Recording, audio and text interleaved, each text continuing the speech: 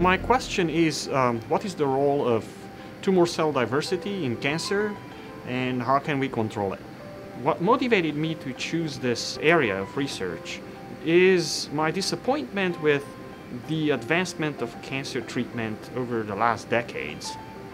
To understand cancer, we need to cross disciplines, we need to do genetics, we need to do physics, computation, and a combination of all of these. So when I saw the Discovery uh, Award, I realized that this is the way to make a leap, explore ideas that can later on be turned into practical applications.